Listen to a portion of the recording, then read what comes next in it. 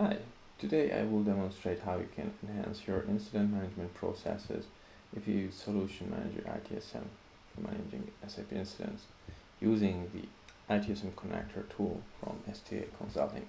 So I'm in an S4HANA system and I execute a finance transaction called FB50 where I want to post a GL account document but I get an error that um, the posting period is closed.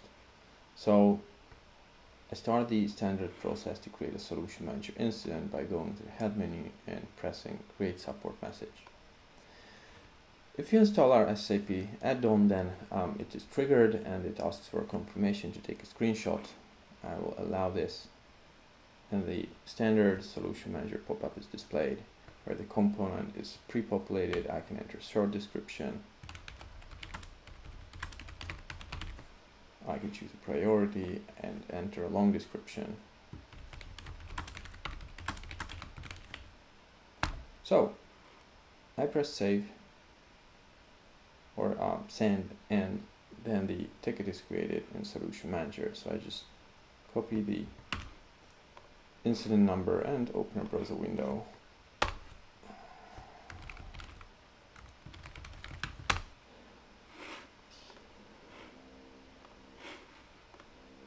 So I've navigated to the um, IT service management interface where I search for incidents.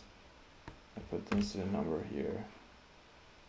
So here we go. This is the ticket that was created. So far this is pretty standard, um, but the add-on that we provide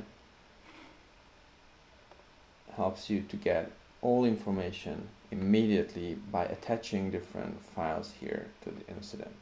So let's check each of these. The first one is a PDF file which contains a header uh, about the affected user and system. Here we have the description and the comments that were entered by the end user.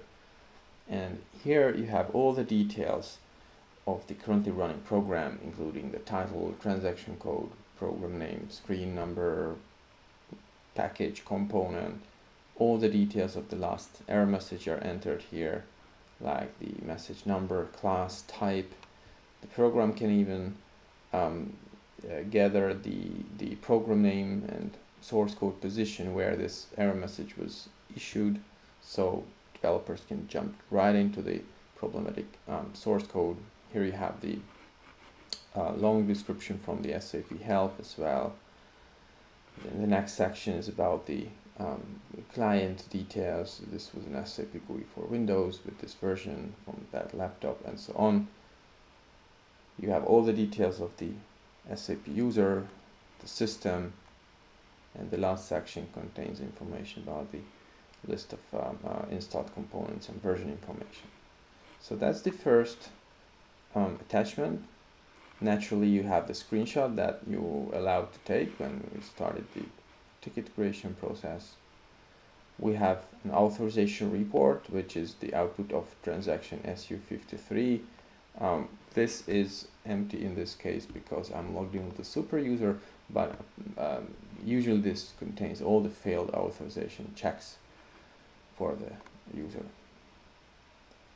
Here we have um, uh, shortcuts to the problematic transaction in the relevant system. So that's a shortcut file that you can open. And that opens, as you can see, the um, SAP GUI in the relevant system client and transaction. Um, okay, and then we have another attachment,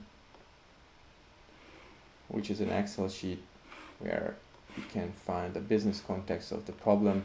In this column you have all the um, data, uh, all the contents of the fields that were on the screen and the program automatically gathers all the technical information.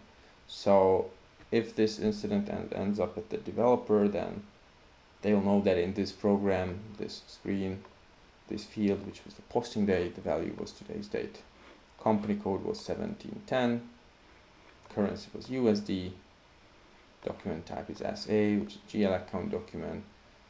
So the program scrapes the screen and whatever is displayed is entered here in a uh, structured format.